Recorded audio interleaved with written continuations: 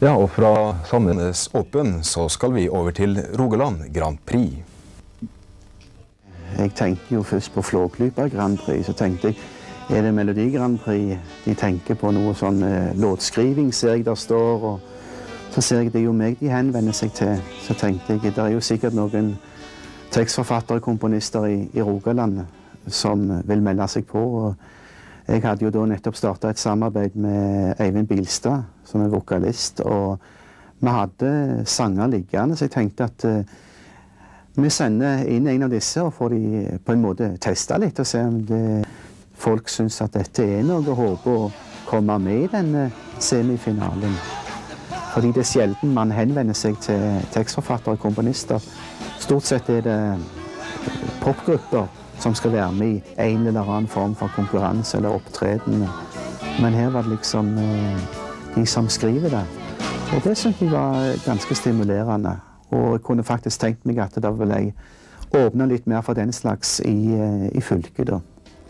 Det er ti sanger som fremføres i finalen i Rogaland Grand Prix på lørdag. Halvparten hver fra semifinalene i sør- og i nordfylket. I tillegg så har de Røde Sjøhus storskjerm i andre etasjen, sånn at eh, folk kan følge med på den europeiske finalen i Melodi Grand Prix. Så her har vi en liten smakebit fra semifinalene. Vinnermelodien fra sørfylket åpner kort, skrevet av Otto Olsen og her sunget av Eivind Bilstad.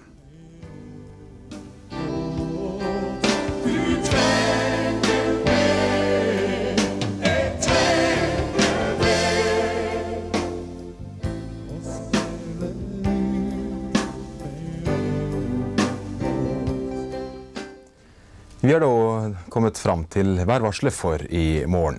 I hele fylket blir det bris fra sørvest, frisk bris på kysten. Litt regn av og til, og det blir disig og lokal tåke. Og det blir litt stigende temperatur i morgen.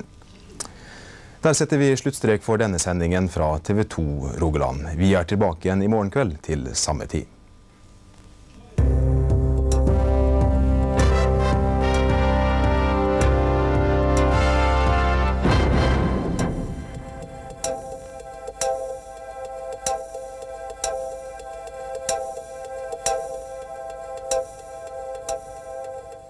RTL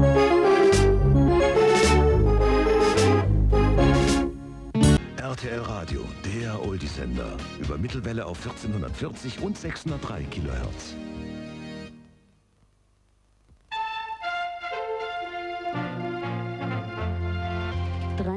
Uhr, guten Abend. Nachrichten mit Frederik Gutmann. Tag 1 in Südafrika, lange Schlangen vor den Wahllokalen. Suche nach